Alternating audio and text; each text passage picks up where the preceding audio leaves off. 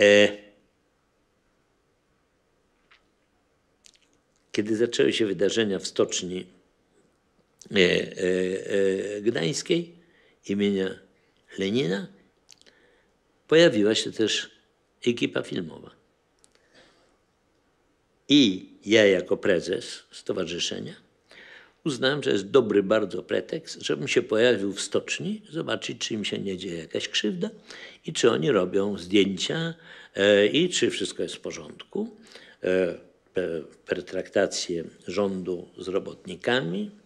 No, więc oni mają to sfilmować, bo to nie wiadomo jeszcze, jakie to będzie wydarzenie, ale to powinno być.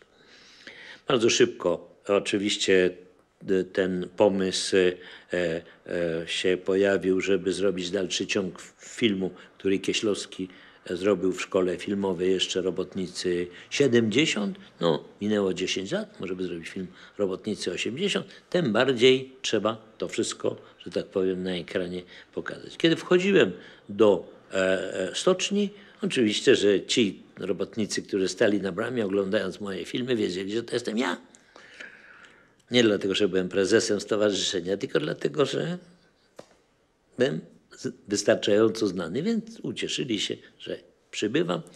Prowadzili mnie do tej, e, e, do tej sali, gdzie odbywały się pertraktacje pomiędzy, e, pomiędzy Związkiem Solidarność, doradcami i Wałęsą i komisją rządową. I jeden z tych robotników, który szedł razem, no, miał czerwonej opasce, mówi, dlaczego pan nie zrobi film o nas? No ja mówię, a jaki y, y, y, chcecie, żebym ja zrobił film o was? A on mówi, niech pan zrobi film Człowiek z żelaza. Muszę powiedzieć, że już miałem tytuł. I pomyślałem sobie, że może jest taka chwila, nigdy nie robiłem filmu na niczyje zamówienie ani, ani z powodów komercjalnych, ani z powodów politycznych. Robiłem takie filmy, które wydaje, wydawało mi się, że powinienem zrobić. Różnorodne, każdy inny, ale nigdy z tego powodu, że jakby ktoś przyszedł do mnie i powiedział, niech pan zrobi film o mnie.